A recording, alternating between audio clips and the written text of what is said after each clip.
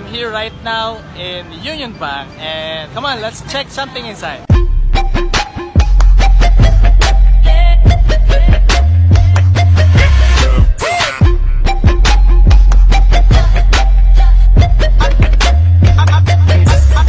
Show to you guys something. This bank in the Philippines called Union Bank has a Bitcoin ATM machine where you can buy and sell Bitcoins using your peso. So once you entered Union Bank, you had an option if you want to buy or sell Bitcoin.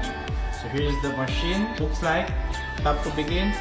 Now before you can buy Bitcoins via Union Bank, they will ask you if you are a Union Bank client. So you can only buy Bitcoin if you have a Union Bank account. So since Bitcoin started to become mainstream in the Philippines, Union Bank is one of the first bank in the Philippines to adopt this technology called blockchain technology and cryptocurrency. The good thing right now, if you want Bitcoin or if you want to buy Bitcoins in the Philippines, Union Bank could be one of your options in buying and selling Bitcoins using this machine.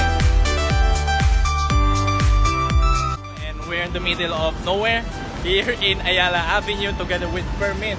Hey Fermin. And kanina lang napadaan kami doon sa isang banko wherein they had this Bitcoin ATM machine and that's Union Bank. Now Fermin, ano masasabi mo doon sa nakita natin kanina? Now, the fact that you've got a Bitcoin ATM means the future is here. The time is now.